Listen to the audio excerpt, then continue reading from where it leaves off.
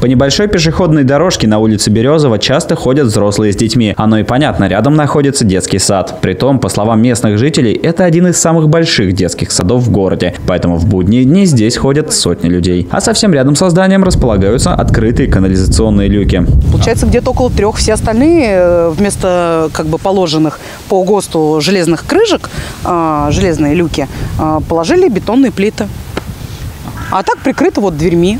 То есть две, две огромные дыры на данный момент, которые просто прикрыты обычной дверью.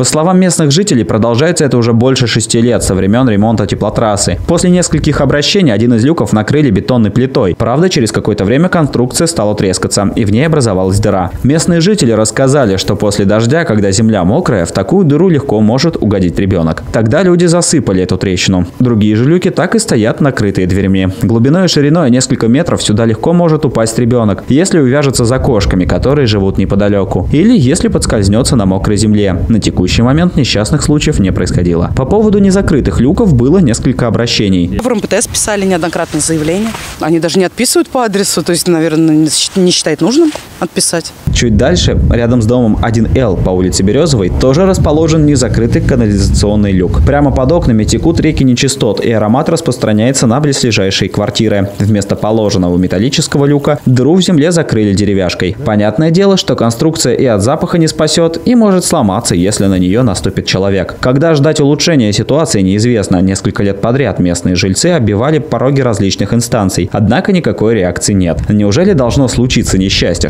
чтобы городские службы обратили на эту ситуацию внимание? Валерий Седов, Станислав Кудряшов, телекомпания «Город».